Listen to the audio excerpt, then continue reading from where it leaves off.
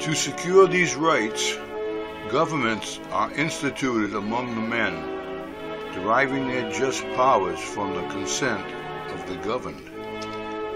United States Declaration of Independence.